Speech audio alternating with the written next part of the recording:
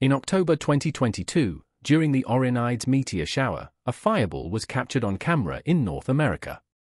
Other meteors left long streaks of glowing debris in the sky. A little earlier, in March 2022, an asteroid crashed into Earth's atmosphere and was captured by one of the meteorological satellites. Fortunately, the asteroid, named 2022 EB5, was only 2 meters, 6.5 feet, wide, so it didn't result in a catastrophe. But not all cosmic collisions are so safe. Some of them are powerful enough to damage planets or even lead to their destruction. What explosion captured on camera is hundreds of times the power of our entire nuclear arsenal? Which cosmic explosion left a void the size of many galaxies around it? And what single meteorite triggered the creation of an Earth defense program? Logo, scientists often observe cosmic calamities. In 1993, they were preparing to watch the comet Shoemaker-Levy 9, SL9, crash into Jupiter by 1994. But at the very last moment, it turned out that the collision would occur on the night side of Jupiter, and the initial impact wouldn't be visible from Earth. Only NASA's Galileo spacecraft, on its way to the gas planet, had a front row seat for the spectacle.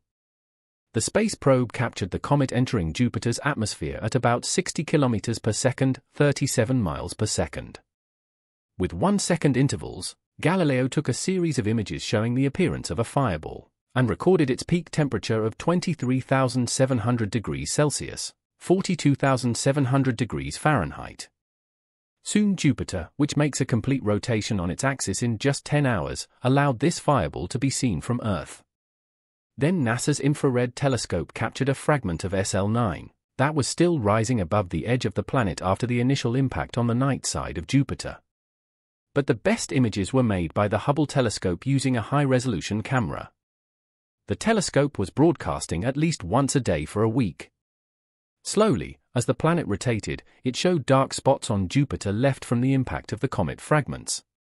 The Hubble Space Telescope recorded the collision of 21 SL9 fragments with the gas giant. The image showed fragments of the comet stretching nearly a million and a hundred forty kilometers, 710,000 miles, about three times the distance from Earth to the Moon. Other observatories and telescopes also kept a constant watch. The largest impact was caused by a huge fragment of a comet, named Fragment G. The result was a giant dark spot on the surface of the planet, more than 12,000 kilometers, 7,500 miles, across. This is almost the diameter of the entire Earth. According to some estimates, the explosion released energy equivalent to 6 million megatons of TNT. At the time, this was 600 times the explosive power of the entire nuclear arsenal of the world. Meanwhile, the impacts continued. At an interval of 12 hours, two more explosions followed, leaving trails almost as large as the G fragment left. The collision sent gigantic plumes of debris flying into space, rising 3,000 kilometers, 1,900 miles, above the cloud tops. A few minutes later, they plummeted back to the planet's surface, turning it again into a blazing furnace of flames. In addition, the collisions generated huge waves of energy that swept across Jupiter at 450 meters per second, 1,476 feet per second. The spots from this impact were visible on the surface of the gas giant for many months, and some were even more noticeable than the famous Great Red Spot. But regardless of how big the catastrophe was, it provided astronomers with many valuable insights. When debris from the comet crashed into Jupiter, scientists had a momentary window to look into the gas giant's atmosphere. Material from the lower layers was ejected into the dense upper clouds, and astronomers learned more about the planet's chemical composition. Researchers found two-atom sulfur and sulfur carbon, as well as the emission of heavy atoms of iron, magnesium, and silicon. Instruments also detected a layer of water in the atmosphere, though less significant than expected. Researchers believe that a more water-bearing layer may be hiding deeper in the atmosphere, where the SL9 fragments didn't penetrate. In addition, the shock waves that rushed across the planet after the impact helped track wind movements. And changes in the polar lights on the gas giant showed how the magnetosphere is affected by comet and asteroid particles. The event also made scientists think more about protecting the Earth from such celestial bodies. Most of them, like SL9, are caught by Jupiter's extreme gravity. The frequency of comets and asteroids colliding with Jupiter is believed to be 2,000 to 8,000 times higher than on Earth. Astronomers believe that without this cosmic vacuum cleaner, complex life might not have developed on our planet. But the gas giant cannot keep us safe all the time. Craters from celestial rock impacts exist on the Moon, Mars, Venus, and, of course, Earth.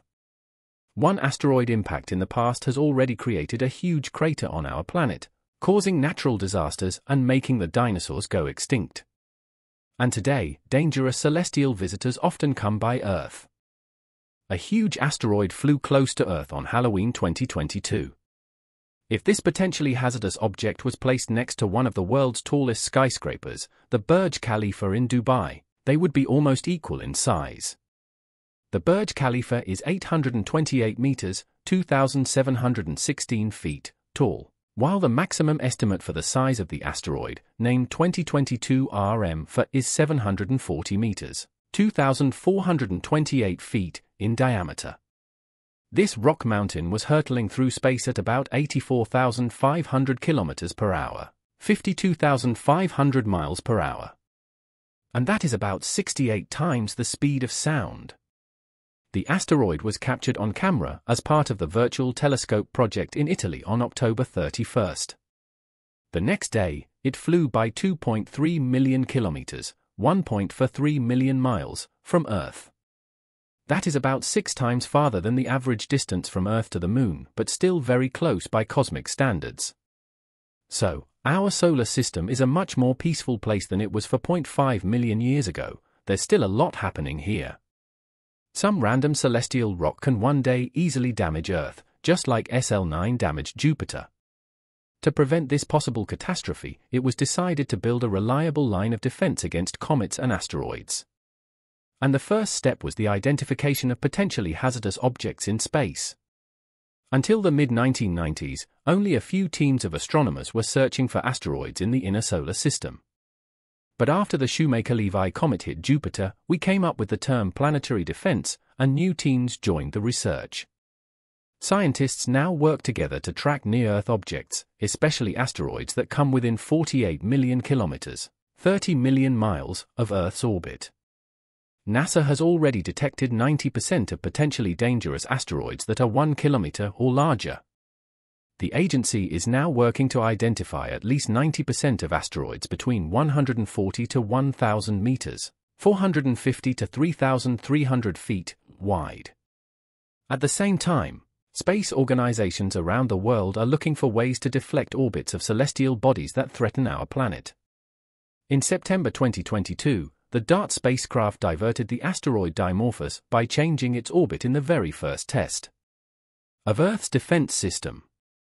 China has also planned a mission to alter the flight of the asteroid 2020 PN1 in 2026.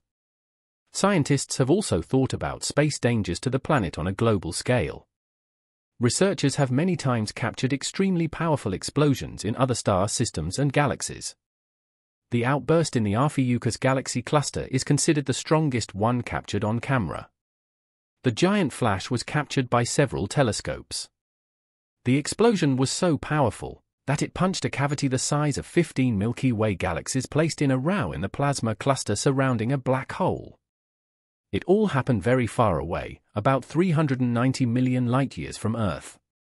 This eruption of unprecedented power gave us stunning images, and scientists received an opportunity to study this grand event using data from NASA's Chandra X-ray Observatory, ESA's XMM Newton, the Murchison Wide Field Array, and the Giant Meterwave Radio Telescope. But in October 2022, NASA recorded an explosion in the universe that reached our planet. Astronomers believe it was caused by the birth of a black hole at the center of a supernova 1.9 billion years ago in the constellation Sagitta. The explosion released the gamma-ray burst GRB 221009A, and a wave of X-rays and gamma rays reached the solar system, sweeping through it. The detectors on the Fermi and SWIFT space telescopes were triggered by this event. Fermi recorded gamma-ray energy data, detecting photons with energies of more than 100 million electron volts. By comparison, photons of visible light have energies of about 2 electron volts. The Swift X-ray telescope captured the afterglow of the gamma-ray burst about an hour after it was first detected. The bright rings on it are visible as a result of X-ray scattering among layers of dust in our galaxy. But the gamma-ray burst didn't do any harm to our planet this time either.